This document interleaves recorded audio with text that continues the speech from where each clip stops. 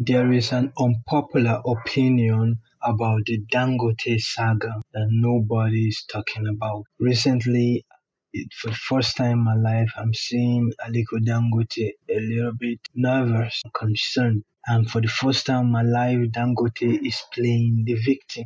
Of course, due to how many times he have promised in regards to releasing petroleum products since the Buhari era, I have lost faith in anything he says because they've promised and promised.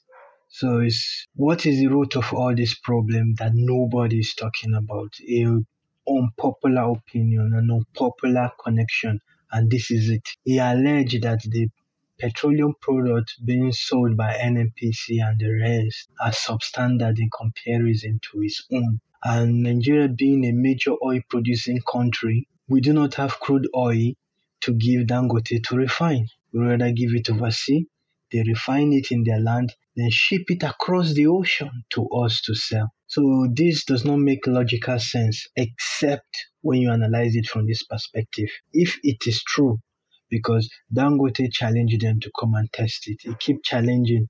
He even claimed that government had no hand in the in the creation of his refinery, which I'm very skeptical about that. But he said it with such confidence. So if it's true that they are selling substandard product that cannot be used in developed countries, then it makes sense why they will ship it across the ocean. They are shipping their trash across the ocean, things that will damage your vehicle, and refine it here in Nigeria.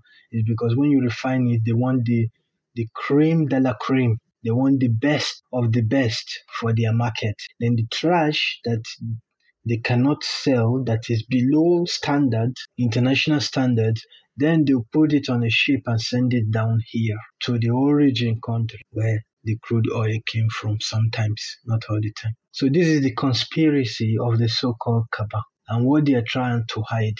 Because now Dangote is producing something of international quality at home. Then where will the trash go? Who is going to buy the trash? He told lawmakers who visited the refinery that independent testing of his products is welcome to prove their quality and expose bad products sold by others. To get, if you go to filling stations and you buy, when you go to filling stations, you buy. Nobody can hide anything, and that is exactly what we did this morning on our way here, which was suggested uh, to come and lead in taking samples from filling stations because I must tell you today that all the test certificates that people are busy, you know, floating around, where are the labs? Even if they have the labs, I can tell you they are fake certificates.